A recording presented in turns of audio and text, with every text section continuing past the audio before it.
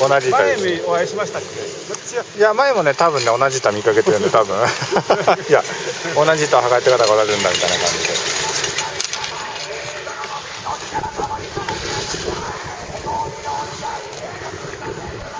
乗りやすいですかね？乗りやすいですね。乗りやすいですかね？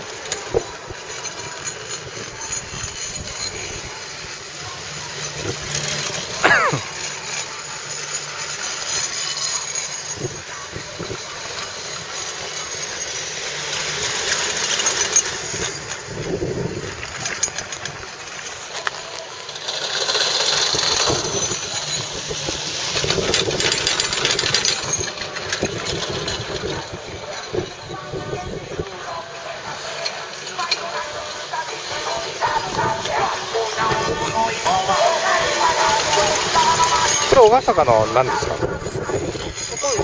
ああユニティです、ユニティ1とかじゃなくてユニティのユニティっていうの。はまあ昔から。あ昔からなんだだいぶ古いですからね。あー。私昔ユニティ1とか乗ってましたよ。ユニティ2とかありました。よあのあの時代の。ありましたね。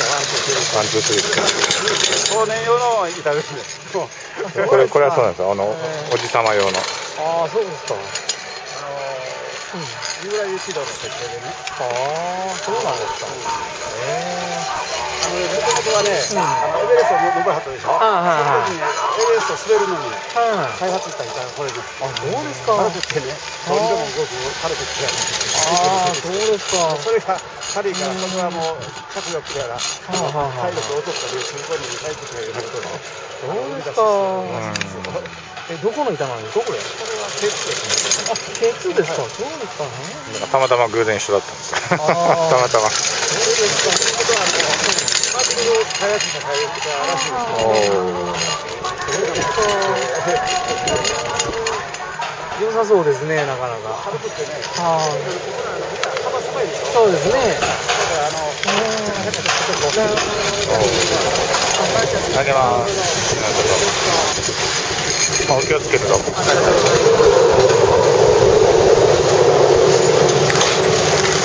きだけはやめられませんただ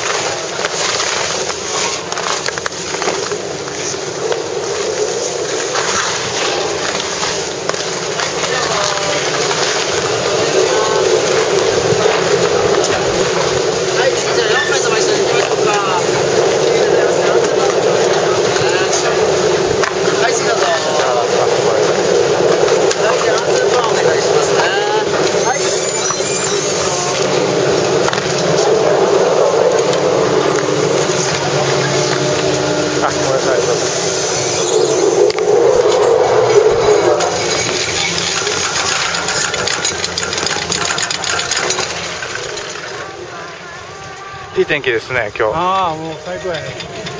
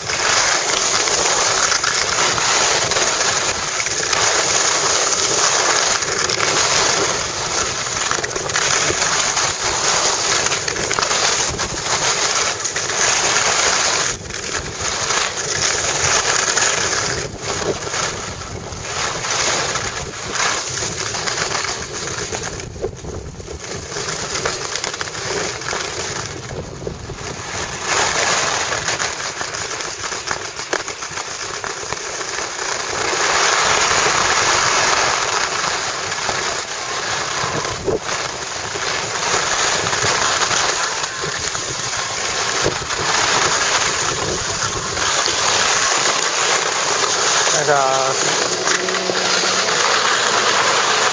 います。